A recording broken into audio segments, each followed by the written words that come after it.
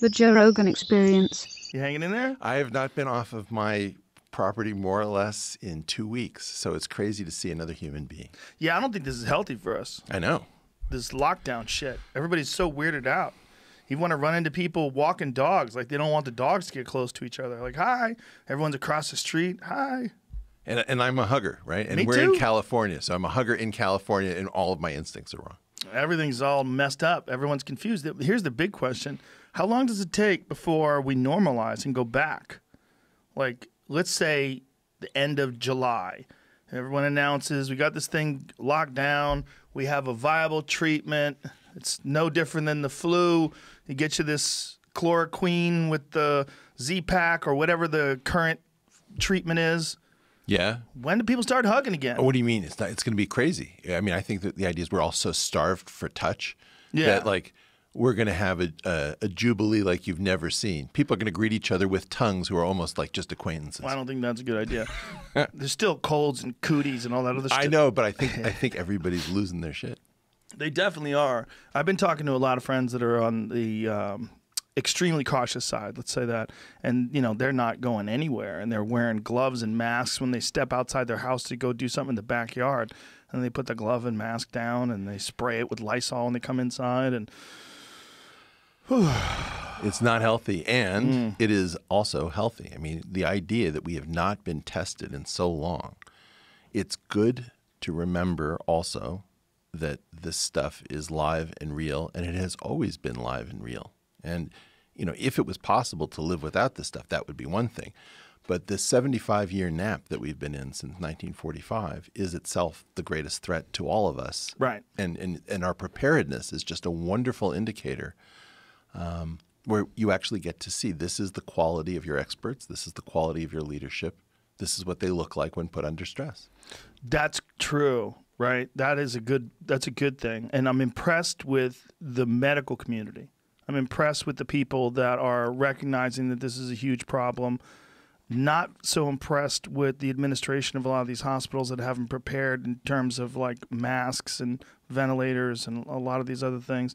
Not so impressed with politicians, but also it just seems like everyone, like you said, was in this nap state and hadn't really been tested. And really, globally, no one had been tested since the pandemic of 1918 like this, right? 68, uh, which I had, I had the Hong Kong flu, and 57 were sort of the best parallels to this. You got the Hong Kong flu in 68? I had the Hong Kong flu and was Oh. sick as a dog How in San you back then? Francisco. I was like three, two, I mean, three, four. So, I, mean, I think it went from 68 to 70. Do you Somebody could- remember it? Oh yeah, in, I was in San Francisco. My grandma had to come up from L.A. to care for me. Um, it was it was bad. This is like one of my earliest memories. Yeah, and so sixty-eight and fifty-seven, I think, are the best comparables to this. Go, before we go back to nineteen eighteen, and almost nobody remembers these things. Like it's very weird. It, many people had never heard of the Hong Kong flu when I started talking about the fact that I'd. Had. Yeah, I vaguely remembered it until you just said it. And then I'm like, I'm slightly older than you, right? Yeah, I'm 52. I'm fifty-four. Yeah. I don't remember the Hong Kong flu, but I do. You know what I mean? Like, I don't remember it personally. No, but but you as a health geek um, are, are up on these sorts of things, and so you understand the ways in which you know, for example, you can have a flu where the I guess the cytokine storm, you know, is your the threat from your immunity, uh, your immune system is like bigger than the virus itself. There are all of these various weird things that happen, but I, I think that this the, let, let's call it the big nap. The big nap is itself the greatest threat to us, and this is this is bad, but it is also a shot across our bow. And, and you know, this is what was happening in my mind when I was on here talking about the twin nuclei problem of cell and atom. We didn't stop history. It's not like we're past atomic war. Like we figured that out. We just we just hit the pause button for a little while. And we hit snooze. Yeah, the fear is also that nefarious players will take this opportunity to erode civil civil rights, to erode civil liberties, and then China to gain power in the U.S. market, to gobble up a lot of stocks while everything is down, and try to increase their stake in our economy, and try to push, the, you know. China's got its hands lovingly around our throat because our elite have been moving into greater and greater states of China dependence. Mm-hmm. right? And so I, I think this is what the BDSM community refers to as breath play, and I don't like it. I Breath do, play is like you kind of like half choke somebody. yeah. What, how do you know that? What? I don't like the fact that you know I that. went. I went to. I went to MIT, and MIT is wildly into BDSM. Somebody asked why, really? why, why are geeks uh, and and Aspies into BDSM? Somebody said lots of rules. What's an Aspie? Uh, Asperger's. Asperger's people, right? Lots of rules. They Yeah, like that. They like. They love rules because their whole wow. because to do all this stuff safely, you would have to have a huge hierarchy right. uh, of rules. And my claim is is that China is they supply so much of our stuff. We've moved all of our Yeah. uh, you know manufacturing base into these crazy supply chains, and we are completely dependent on a strategic rival. And you know China is very careful. If you remember when they when they hosted the Olympics, to have these amazingly impressive displays that are always friendly, but what they're really saying is we have our shit together and you don't and our system was hackable. It was open. As long, for example, if you have a, a company that has um, a duty to its shareholders, the, the directors of the company must do what is ever, whatever is in the best interest of the shareholders, and everything else doesn't matter. Then you can have a situation where a director has to move things to China because that is in the best interest of the shareholders, even if it's in absolutely uh, not in the best interest of the United States. This is what Ralph Gomory, who used to head the Sloan Foundation, once said in an address I was at at the National Academy of Sciences. He just said, As a director, I am incentivized to do exactly the wrong thing for the United States of America. So I'm going to put one hat on and tell you, as an American, we must not move all of this over to China. And then I'm going to put my director's hat on and I'm going to vote to move everything over to China because I have no choice. And so, you know, in essence, the smart, good people, all 11 of them, uh, were always fighting this thing about you cannot become China dependent. And in, during the big nap, there was no way to make this argument convincingly. You couldn't say, look, we, we have a serious strategic problem by your continuing moves to bring China in as the solution to every equation we can't balance. And that that is really the problem is, is that there wasn't any ability to say we are way too dependent on a strategic rival. You saw this at the beginning of the pandemic. Everyone was afraid of what? I don't want to be, appear xenophobic. I don't want to appear like Chicken Little. Right. And so all of our friends, the nutcases, the marginal weirdos, the supposed grifters and gadflies, are the people who most got this one right and early. And all the respectable people, like Nancy Pelosi telling people, please go to Chinatown to celebrate the Chinese New Year. Bill de Blasio of New York saying, despite coronavirus, get out there. Let, you know, don't lead your lives. Don't don't let this thing hold you back.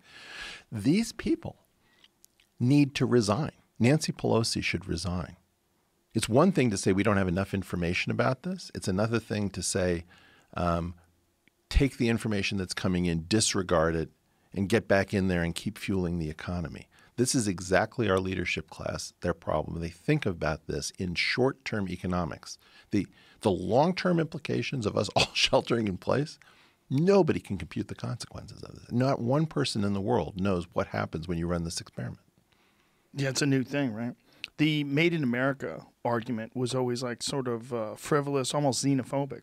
Like, why do you want things made in America? What do you care? Do you not do you not like people from other countries? Do you not want to buy things from other countries? It was like this made of made in America thing was like people disregarded it in a lot of ways. But when you realize that all of our medical supplies, like so much of our electronics, so much of all the, the stuff that you need to kind of keep things exactly the way they are, it's cheaper to make it over there because they will, like wh- what we saw with Foxconn, where they put nets around the building to keep people from jumping off. And the weirdest thing was people trying to argue that the suicide rate at Foxconn was essentially the same as the suicide rate in the general population. Well, Uh, you, do you ever heard that argument? Yeah, Like, what, what the fuck are you talking about? That's where they work.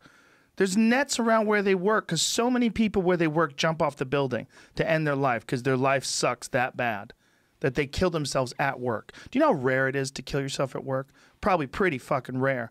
You know how common it is where you have to put nets around the building? You're like, look, we're getting really tired of people going to the roof and jumping off because it's the easiest way to kill yourself. They're going to get more creative. Yeah. I, the problem is we are all hooked up to this need for cheap products, Yeah. profits when we can't figure out how to innovate enough to actually create the juice in our own system. And therefore, we have to rationalize. You were going to say? No, I was just gonna say. I mean, also we've gotten into this idea of every year we have to have a newer, better piece of electronics. Like, if you had to go the rest of your life with an iPhone 11, how much would you suffer? Um, not that much, although I would say that many of us are not that excited about the next phone. That, that, that itself is an antiquated thing. Right, but what I'm saying is like, why can't they make it so that you can just fix this? Yeah. You know what I mean? Like, who the fuck fixes their phone? You don't fix your phone. You bring it oh, in. Oh, you're going like, back to, like, "Oh, you can get a Depression era one." thinking. Well, not depression era thinking. It's like, wh- why can't things be sustainable? No, no, I, I the plan's obsolescence and the need to constantly update so that you you you're never. It's a tricky problem. If you need growth to power your system, then in a weird way, it makes sense not to build the optimal phone Right. because if you were to build the optimal phone and then people stopped renewing everything, Your system's fucked. then your system weirdly breaks down. So it makes sense at the level of the phone that you wouldn't want to do that. But weirdly, in aggregate, if you can't start innovate, if you can't figure out how to restart innovation in a big way, now you're stuck with either having to li- learn to live in steady state, which none of us, we, n- Americans have no program for living in steady state. We, we need growth. That was the whole point of the embedded growth obligation idea, that it's suffused throughout every institution. Every pension plan assumes growth, right? right. All right. So now we have this problem where we don't have the growth and we need the growth. And then in a weird way, the planned obsolescence is like fake growth. It means that we're going to rebuy our phones even as if they were now highly innovative. So there's like a weird way in which we become dependent on nonsense.